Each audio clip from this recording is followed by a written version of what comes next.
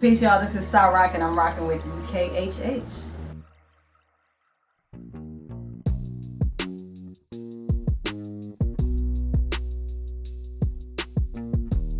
I'm 10,000 years away from any MC breathing. If heaven had a name, then it'd be Sa-Roc, hand to Shiva. I Buddha, Krishna, Shango, Allah, Christ you into believing. Heist your followers with a haiku, then invite you to our religion. See, I'm the type to fight to fame me and still be in love with the game though. And you the type to love to hate me, you relish in the painful. See, all the greatest prophets had detractors at their table. They the first one making plates from off the fruits of all my labor. Rebuke these smiling faces, take real evil over kind fakeness. Watch me rap a straight line to the pious from the faithless. You pilots trying to crucify messiahs for their greatness. I'm Tony the Tiger, homie, ain't no denying my nature. It's proven a man with no cause will fall from his flaws. So all them charlatans you follow about to drown in their ponds.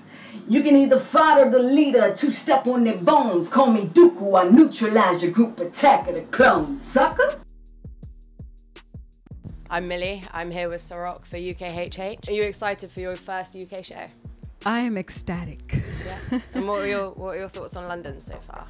Um, I didn't get to see a whole bunch of it, but you know, I've had this kind of fascination with with England for a long time since I was a kid. I used to kind of try to play around with the accents. I loved like British like comedies and stuff. I was obsessed with Mr. Bean and all that stuff. all that. So like I've been wanting to come here for a really long time. So to be here and then not only perform here is like a dream. I remember just not not that far back, you know, I was in a little apartment, still working 40 hours a week, you know, dreaming about stuff like this and now I'm here so I'm beyond excited. Yeah, it's wicked. So, um, cultural and spiritual references uh, seem to be a pretty intrinsic part of your work throughout your whole discography. But um, has that been a part of your work since you started out? Yeah, definitely. Um, and a lot of people seem to think that that's a conscious choice. Like I'm, you know, making um, making a, a, a decision to you know to rhyme about stuff like that. But it's just a part of me. So I feel like rhyming is just an extension of of my thoughts and you know. Um, the things that I want to express. So it just came naturally that you know I've been a spiritual person for a long time. You know, my culture and um, has been uh, long been you know just a really essential part of who I am. So of course I will ex- express it through my music. Do you think like are there any sort of like specific influences that have kind of brought that out in you? My parents um, laid a pretty strong spiritual foundation. Not not anything religious, but um, just they were into like transcendental meditation um, in the 70s so they kind of passed that on to us. We had like a family mantra and you know so we were exposed to meditation stuff like that at a very early age. And then um, i went to a school that focused on pan-african education so we learned a lot about like west african spiritualities and um, that school imbued, imbued like a really strong sense of culture, in particular, you know, African culture. Um, so I've always I've reflected that since you know very early on, and um, just you know those things help to make me a better person, help to shape and mold you know who I am, especially the the meditation bit um, it was really helpful for me to utilize that to kind of channel this because by nature I'm a very just kind of shy and reserved person. So for you know using like breathing techniques and meditation techniques, it allows me to um, to kind of tap into that you know that strength and that that power source that I use in my in my music. So your work rate is like super impressive, but the gap between your Metamorpheus EP and your upcoming project seems like pretty long uh, in contrast to the rest. So has there been a difference in your kind of like creative approach this time? Definitely, definitely. I'm, I'm I think I'm experimenting with different techniques. Um, I'm working with you know different artists and musicians as well.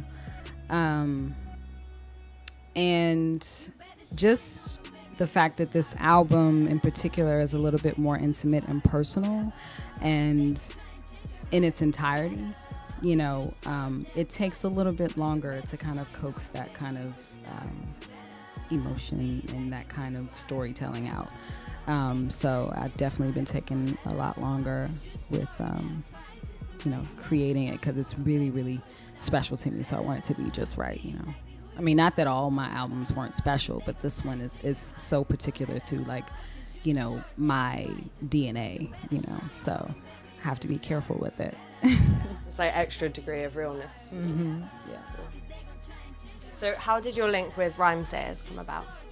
This gentleman named Kevin, who had been with Rhyme Rhymesayers for, for a very long time. He was one of the hosts of their, their radio show um, and worked within like the Fifth Element store and then also with like um, uh, like A and R and stuff like that.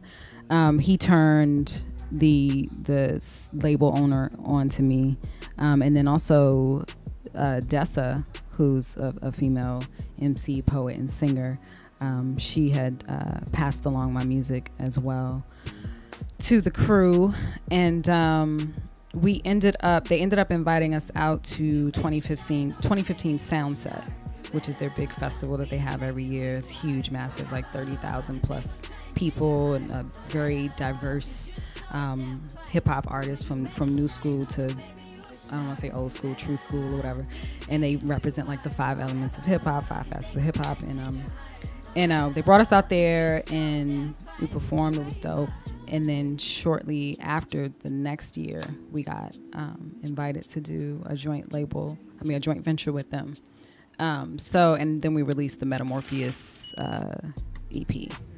So, it's been a really, really dope fit um, because all of their artists really express a degree of just authenticity and originality and they give you you know space to be like uniquely who you are. They give you space to figure out like what you want to express and you know time on your project and stuff. There isn't like this these these time constraints and this pressure to you know put out either mainstream you know type of work or you know the general guidelines and you got to throw this out at this particular time or throw out x amount of singles and stuff like that. Like they have they let things happen organically.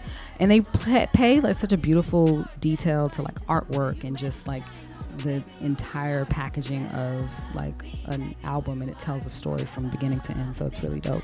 I've been having a wonderful time. As like a self-dubbed goddess where does that come from and what does it mean to you and your music this um, like persona almost?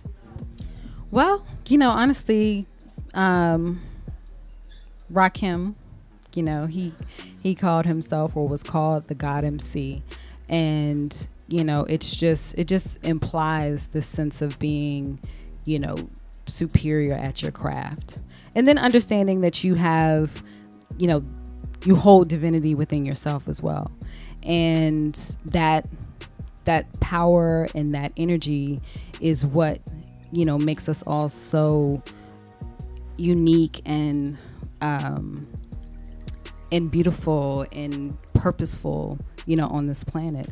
And to you know take on the title of goddess um, it's just kind of cements like who you are. And it kind of gives this this this sense that you are uncompromising you will not be shaped and molded by by anyone else. You know you are who you are and you are a dynamic individual and that's and um and that's it. Nobody questions you when you come out and say i'm the goddess mc you don't get you don't get you don't get um a lot of the um disrespectful you know kind of comments or you know the a lot of the B, the BS that women in the industry have to deal with and stuff. Um, when you proclaim certain things, like they they don't they don't they don't approach you in, in a certain type of way. So, well, that's that's what my experience has been. Um, but yeah, it's, it's just a powerful thing to proclaim and to set certain standards for respect